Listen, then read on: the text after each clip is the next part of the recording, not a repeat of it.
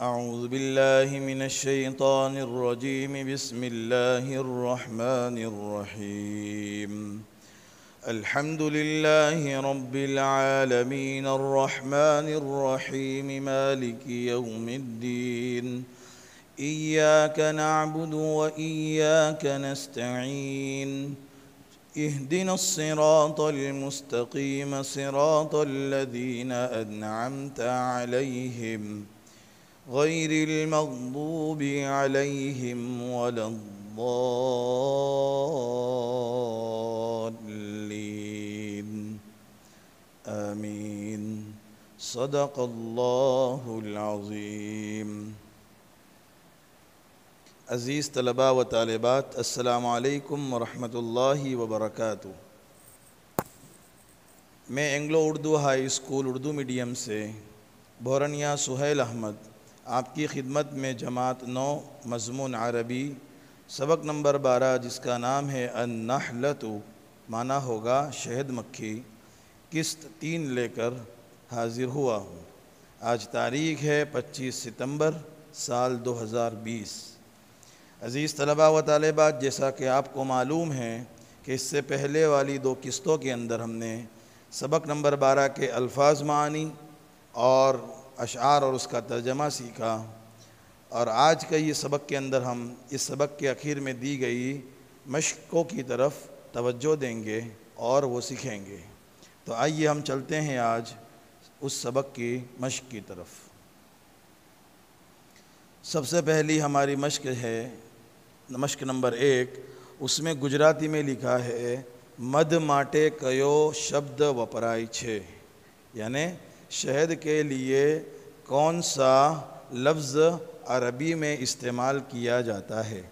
नीचे चार ऑप्शन दिए हैं ए बी सी डी तो इसके अंदर से सी नंबर पर जो लफ्ज़ है, अल असलू, वो लफ्ज़ है जो शहद के लिए इस्तेमाल होता है। बहुत आसान है। अब अपनी कापी के अंदर मद माटे कयो शब्द वपराए छे ऐसा गुजराती में लिख ले और इसके नीचे आसानी हो तो उर्दू में भी लिख ले। उसके बाद ये चार ऑप्शन लिखे और उस चार ऑप्शन के बाद जो सी नंबर पर है, यानि अल असलू, उसको अंडरलाइन कर दे। आगे दूसरी मशक है, अल लैलूनो विरोधी शब्द कयो छे। इसे भी गुजराती में अपनी कापी में लिख ले। यूँ सवाल है कि लैल का अपोज़िट, इसका मुखालिफ ज़िद लफ्ज़ कौन सा है? विरोधी शब्द, यानी इसका ज़िद क्या है? जैसा कि अल्लैल का माना होता है रात तो उसके सामने क्या आएगा? दिन। तो इन चार ऑप्शन में से ए, बी, सी, डी में से कौन से नंबर पर है वो लफ्ज़ जो इसके अपोज़िट में इस्तेमाल होगा? तो अल्लैल के अपोज़िट में नंबर ए पर है जो अन्नहारू वो इस्तेमाल होगा। इसे भी आप अपनी कापी के अंदर सही तरीके से लिख लें। नंबर तीन पर है ततीरुल अशजारी। ये एक शेर का छोटा सा हिस्सा लिखा है, ततीरु लिल अशजारी। उसके सामने खाली जगह दी गई है कि उस खाली जगह के अंदर क्या आएगा? ततीरुल अशजारी के सामने क्या आएगा? तो फिर यहाँ पर भी चार ऑप्शन दिए हैं। उसमें से ए नंबर पर जो ऑप्शन है, ततीरुल अशजारी यानि बी बी नंबर पर जो ऑप्शन है व ज़हरी व सीमारी, वो इस्तेमाल होगा और उसे खाली जगह में लिख देना है व ज़हरी व सीमारी वाले ऑप्शन को। उसके बाद आगे चलते हैं।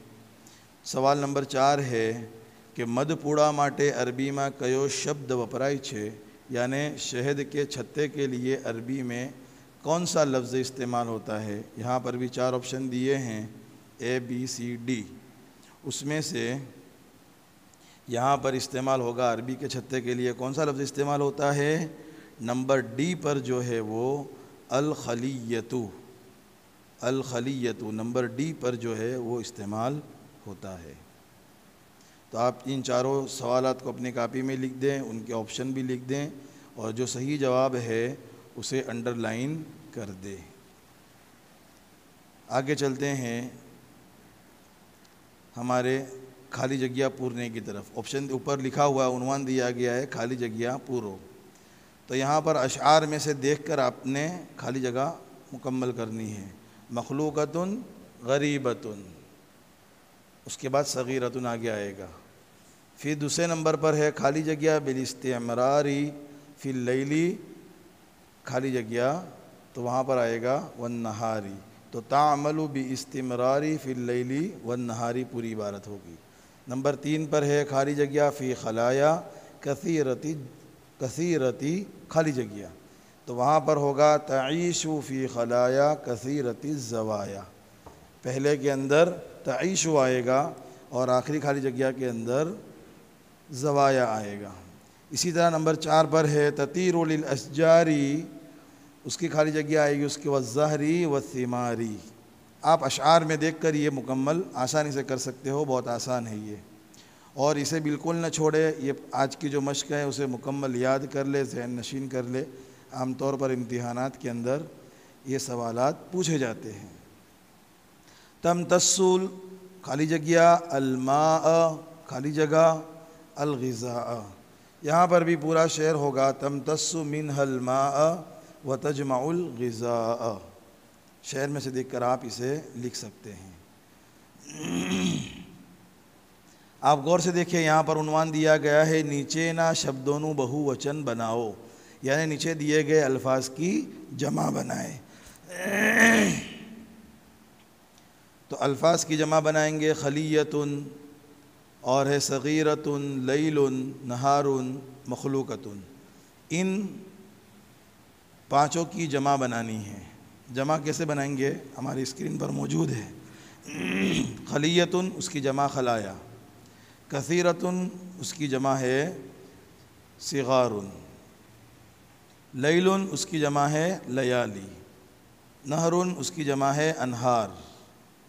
यानि नहार उनकी जमा है अनहार, और मखलूक़तन, और उसकी जमा है मखलूक़ातन।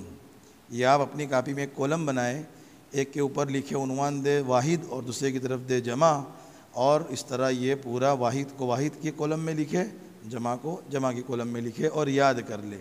ये भी मौज़ इम्तहान है, आमतौर पर इम्तहान में पूछा जाता है। और ये आखिरी मशक़ है हमारी आज की। इसमें उनवान दिया गया है, नीचे ना शब्दों एक वचन बनाओ। यानी ये जो अल्फाज पाँच है, वो जमा है, उसका वाहिद क्या है, वो हमें बताना है। पहला है, जवाया। दूसरा है, अजजारुन।